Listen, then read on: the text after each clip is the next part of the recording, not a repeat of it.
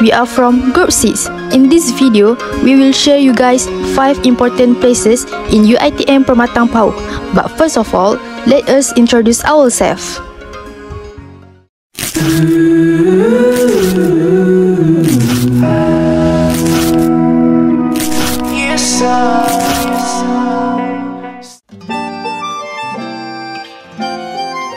So now we're gonna talk about He and She Cafe in UITM Permatang Pau. The cafe located beside the main library. This is where students will be enjoying their time and there also a lot of food that we can order here. The menu not only coffee but also have main dishes, pastry and dessert.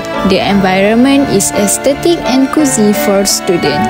It also suitable place for relaxing, having discussion, do their assignment and online class.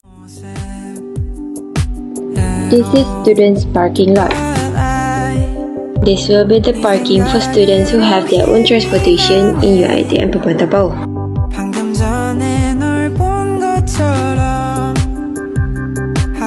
This students parking close to the main gate so that it can make it easier to come to class early.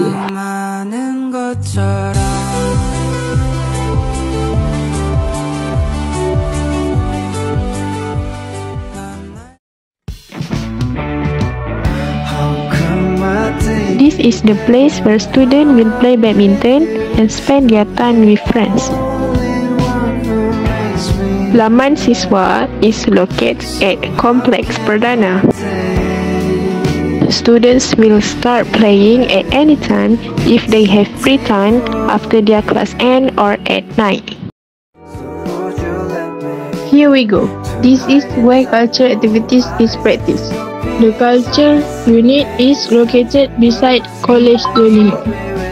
Students can develop talent related to art and culture.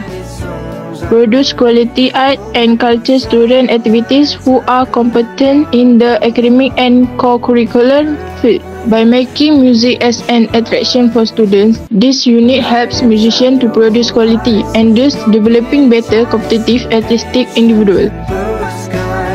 The male unit is located at College Zambrit.